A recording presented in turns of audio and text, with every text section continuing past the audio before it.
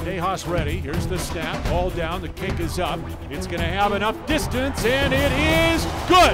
From 47 to throw. Here comes the rush, and he's sacked inside the 30 yard line. Brooks Reed rattles back over to the end zone, throws, and it is caught. Touchdown, Arizona. Five stands back to throw. He's chased. He's hit. He's sacked again at the 15. Arizona takes over the football. How fitting is that for the Arizona defense to end this game on the field?